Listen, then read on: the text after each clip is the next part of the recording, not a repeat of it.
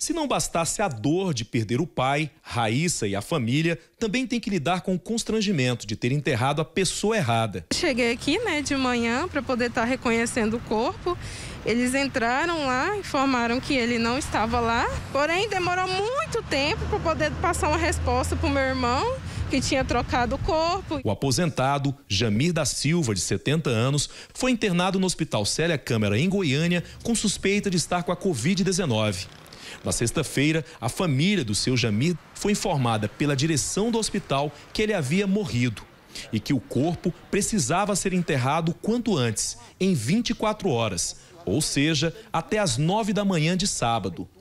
Mas quando o serviço funerário chegou ao hospital para retirar o corpo, ele não estava mais na câmara fria e nem no leito hospitalar.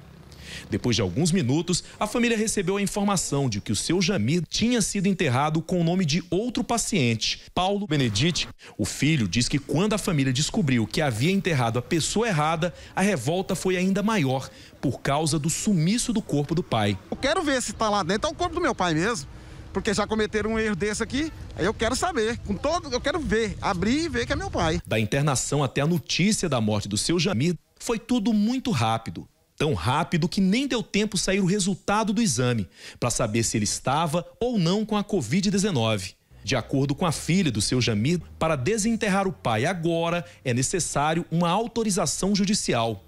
Pedido já feito pela família, mas negado pela justiça, que determinou que o inquérito policial seja aberto para apurar os fatos. Nós também falamos com a família do seu Paulo Benedite, com o mesmo nome do pai, o filho diz que seu Paulo foi internado na madrugada de segunda para terça-feira da semana passada. Aí saber que depois de tudo isso, a gente ainda fez todo o enterro, tudo, e não era ele lá.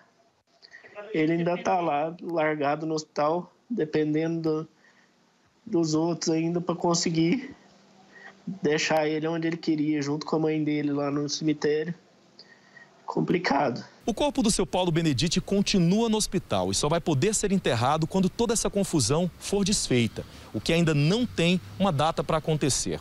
Na casa da família eram apenas os três: o seu Paulo, dona Sirlene e o filho, que também está com suspeita de estar com a doença. Dona Sirlene, a esposa, testou positivo para a Covid-19. Ele está em casa tentando se recuperar da doença, da dor de ter perdido o marido e de ter enterrado outro homem no lugar dele. Tem que exumar o corpo. E aí agora o, o juiz até agora não, não liberou essa liminar.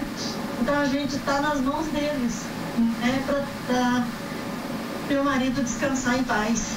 Dona Sirlene diz que foram 41 anos de casamento com seu Paulo e nunca imaginou passar por tudo isso. Infelizmente aí veio essa notícia. É muito difícil pra gente, é muito difícil.